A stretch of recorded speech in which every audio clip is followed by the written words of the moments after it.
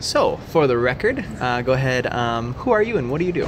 My name is Sara Langworthy, and uh, I have a channel called Developmental Enthusiast, uh, where I talk a lot about child psychology, um, getting into graduate school, what graduate school is like, um, and and issues that face children, youth, and families. Awesome. So, what was the thing that got you to start putting educational stuff on YouTube? I come from an academic background, um, so I have my PhD in developmental psychology, and I was I knew pretty early I didn't want to do the traditional researcher track, um, but I was really passionate about making science and research accessible for people who are in the field and who want to use it, um, and who it could benefit. And so I pretty early on saw myself going in a direction that was more along research and science communication, um, and and trying to figure out how are the ways what are the best ways to get information out to people in ways that they can actually use it. And so I saw YouTube as an opportunity for that. Um, I watched a lot of YouTube. I was a you know, big big Nerdfighter uh, fan, uh, and so I, I saw that as a potential method for uh, getting information out to a lot of people very very quickly and in ways that they might be able to use or at least find it interesting enough so that they could go find more information if they wanted to. Cool. Cool. So, um, I know you're associated with an institution, Mm-hmm. um, University of, you said Michigan? Minnesota. Minnesota. That's right, St. Yep. Paul. Yes. Good old Prairie Home Companion. um, what do you think are some of, like, do you get any support from the institution to do YouTube stuff? Um, it's been interesting. So I I have my own personal channel, uh, which is a Developmental Enthusiast, and that's sort of separate. But I also am running um, our our little center has their our own YouTube channel, and I'm actually in charge of running that. And so one of the things that we've done that's been very exciting, and I think is is an interesting method moving forward is that we have a lot of older professional development content. You know, you'll you'll see people post their entire lectures online, and you don't always get great engagement on hour and a half long lectures. So what we started to do is um, cut those down into smaller bite-sized chunks and um, edit them together in interesting ways on topics that are important to our audience. And so um, we've done a couple of different videos uh, along different topics, one of which um, is on historical trauma, which is the idea that um, trauma and, and hardship experienced in generation generations past actually carries forward into people uh, into the future. And so um, we had some researchers and professionals who talked about what that means to them at these professional development seminars, and then we cut it down into a three-part video series. So it's been an interesting um, it's been interesting working within the institution on those kinds of videos while also having my own channel where I have a little bit more creative freedom. Um, but I think universities need to get on the bandwagon when it comes to uh, educational video especially. There's a lot of opportunity um, and I've actually been a little bit sad that at VidCon the biggest you know convention around online video, we haven't seen very many university people here, um, and I think that's that's really a shame because there's a lot of opportunity for growth uh, in that area, and so I'm excited to kind of be at the forefront of, of that niche uh, and to kind of push that forward and, and see where that takes me. Cool. So, for we'll circle back to um, developmental enthusiast itself. Mm-hmm. Do you have any like goals for the channel? Like when you go and you make a video, what what are you trying to do? Yeah.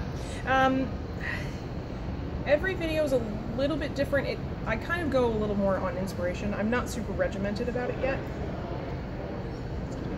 I'm not super regimented about it yet, partly because um, there there's this thing called a full-time job.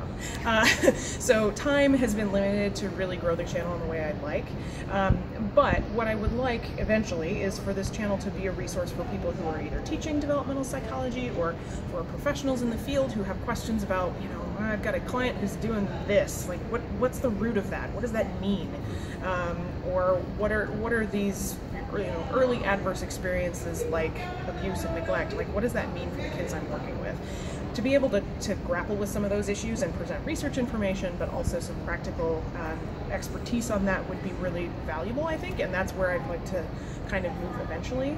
Um, but I also see my YouTube channel as an extension of sort of my overall brand, to use that term. um, so I'm also an author. I've written about uh, early adversity and trauma in early childhood and what care providers can do to help kids who've experienced a lot of that, uh, those early life difficulties. And so I see YouTube as a way to um, again sort of expand and grow an audience in a slightly different way and reach a different group of people than I would with just a written book. So um, I guess the, the, goal is to continue to grow the channel, but uh, to always be cognizant of what is it that the people I'm, I'm thinking of as my audience, what is it that they need, what's going to be most useful to them. Nice, nice. Um, so, uh, so we talked about goals. We talked about what you're doing now. Talked about what you did back in the day. Um, you mentioned that you did a book. What's it called? Thank you. uh, so I'm the author of a book called Bridging the Relationship Gap. Uh, connecting with children facing adversity. So it's all about um, kids who've experienced a lot of early life hardship, um, things like abuse and neglect, or having a parent in the military, or having a parent who's incarcerated, uh, and and what that means for kids and what that does to little kids' brains um, and what we know about that from the science and the research. And then also, what is it that professionals who are working with kids on a day-to-day basis can do to help kids recover recover from those experiences and live really fruitful and healthy lives. Um, I think that's that's probably the best spiel for it that I've done in a long time. So nice. Um, I haven't asked this before um, of you. Mm-hmm. Is it more targeted towards like the adults and the kids' lives, or is it more targeted towards like psychologists or like a healthy mix of both? Um, a little bit of both. The, so the publisher I worked with primarily has a um, an audience that's early childhood like educators, so people who are teachers of young children. Um, but I would say that it's also got information that can be valuable for parents and aunts and uncles and people who are, are in a child's life. Um, also for people like educators and social workers and mental health practitioners. Uh, I tried to keep it as broad in terms of use of the information as possible while also understanding that people want practical tips for how to work with a kid who's you know acting this way in front of me right now. Yeah. Um, and so I tried to balance both the research and the practical angle on it, but keeping in mind that a lot of people might benefit from it. Cool. And final question: Do you have a sign off for your channel? No, I don't. I have. I'm really boring. Sorry, this is your opportunity. My opportunity to come up with a tagline. Oh no. Um, oh, I got nothing on the spot. I'm not good on the spot. It's okay. Uh, Remember. I mean, usually, usually I just do sort of a, a general thank you to the audience for like, thanks for watching, and I'll see you next time. All right. Perfect. Bye now. Bye.